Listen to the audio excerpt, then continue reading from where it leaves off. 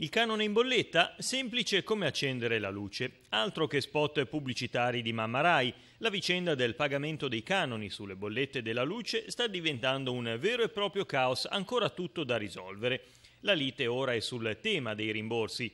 Il Ministero dell'Economia vuole infatti che siano le società che forniscono energia elettrica a risarcire le famiglie che avranno pagato l'imposta TV quando invece non dovevano, ma chiaramente le società non vogliono farsi carico di questa incombenza.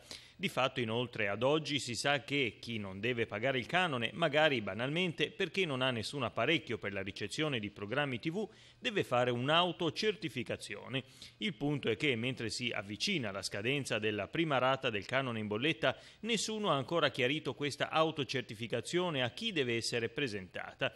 Insomma, il solito sistema all'italiana per prendere soldi indebitamente dalle tasche dei cittadini, promettendo poi una restituzione che non si sa da chi, quando e se arriverà.